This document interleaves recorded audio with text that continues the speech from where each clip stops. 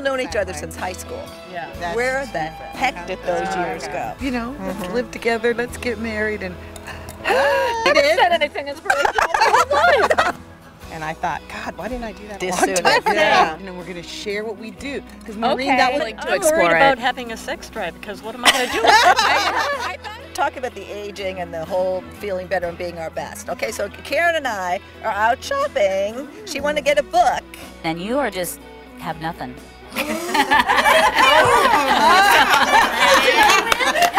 I want to be the worst because I that was one of my fears. I thought, No. what if I come into you and Right. you say You're normal.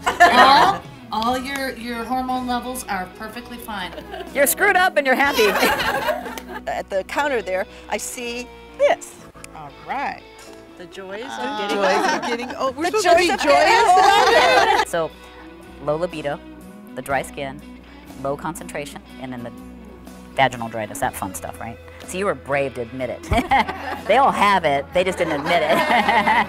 say up on top? What a nice book. It says an inspirational look at the beauty found within the circle And of life. Did we notice So, how small the book is? yes. And I, and I picked it up and said, "This is great. goes, this, "Here, I was meant to get this She book." just-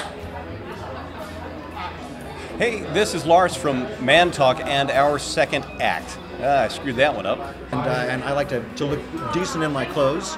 I think looking good out of clothes is important too. So it's important. and Your, your appearance is, is a big chunk of who you are. Uh, older women uh, might be a little um, self-conscious about their body, like we're talking about staying healthy and fit and everything else. And how does that affect the sex life? How do you work with the health and fitness and keeping that up? Well, I'd say the, the deciding factor as far as like what's the most attractive thing in a woman is confidence. So if a woman, regardless of how she looks, if she's confident about the way that she looks, that'll ring my bell every time. Get some really inspirational stuff. I go home, I and I went to read it. Ah! I don't want to wait anymore. I do everything that I've done. Well, time It's is been passing Time is- by. yeah, yeah. Passing by No more quickly. time. We And I've have done luck- too late. yeah, That's we my have- biggest regret, not just doing it. That's what they say. The older you get, it's you don't regret the things that you did. You tend to regret the things Oh, you of didn't course. do. Right. And people change, don't they change? Like every 15 or 20 years, don't people like really change? Many times people have grown apart. They have different interests and different lives, actually. Uh, many of them uh, have not had sex in years. They're sleeping in different bedrooms. That's more common than not. This is what we're changing. Okay? Yeah. This is unacceptable. We're going to be our best. We're be- Wow. so we're going to make a commitment. We're going to we're going to reverse the clock. So I want you to move your arm. Tuck. Release your pelvic. Tuck. Release. Go as low as you can go. Go faster. Come on. Go faster. Go faster. Go faster. Oh, come on. We need to commit to writing our own Yeah, book. we will. We'll, we'll, We we'll need to fill this that in. in. We'll fill Yeah. this in. And then we send it back to him. Mail it back Yeah. and say, no, here Here you you go. go, real print, joy. print that. Yeah. It's been said that friendship is born at that moment when one person says, What, you too? I thought I was the only one. This simple revelation is how Second Act TV came to be.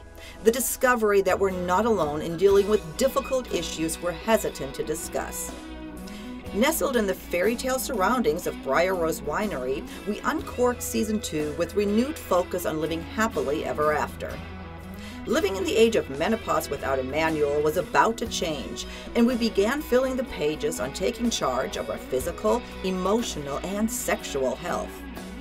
But life changes are never easy, such as the very real option of leaving an unfulfilled marriage. Our male counterparts had plenty to say about it.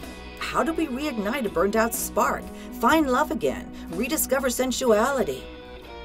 By choice or circumstance, one out of every three boomers today is single, and the search for Prince Charming continues. The moral of our story? Rediscover purpose and live with passion. It's never too late to be the person you've always wanted to be. Welcome back to Second Act TV. Hey, welcome back to our second season of. Our, we got all the girls back, and we're going to have fun. Relationships.